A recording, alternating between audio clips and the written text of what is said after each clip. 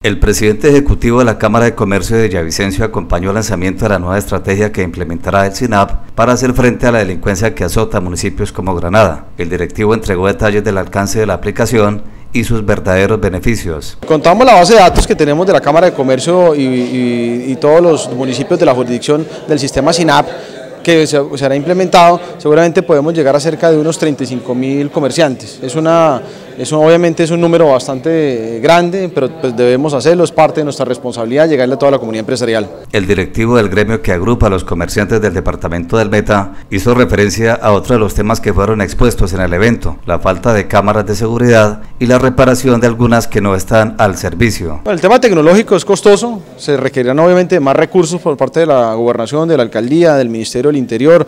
Aquí lo importante es buscar esos recursos y trabajar mancomunadamente incluso por el mantenimiento de aquellos eh, eh, equipos que están ahí un poco, pues digamos, eh, sin, trabajo. Lo importante de todo esto es que se utilicen bien los equipos y que obviamente garanticen la seguridad en todo el municipio. El presidente ejecutivo de la Cámara de Comercio mencionó la importancia de la articulación con las autoridades militares y de policía para obtener mejores resultados contra el accionar delictivo. Bueno, debemos seguir consolidando esta relación que tenemos con la Policía Nacional, con el Ejército, con todas las Fuerzas Armadas, con el ánimo de darle a entender a la comunidad empresarial, los comerciantes y en general a toda la comunidad que tiene que darles un parte de tranquilidad, que trabajamos institucionalmente con el ánimo de garantizar seguridad, orden y más prosperidad para nuestra región.